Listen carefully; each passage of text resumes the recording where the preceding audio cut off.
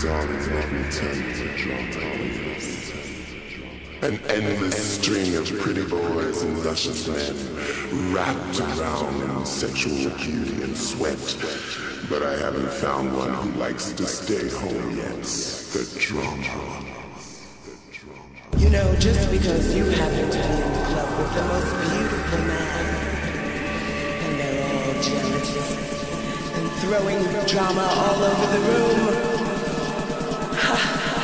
Close your mouth and stop drooling.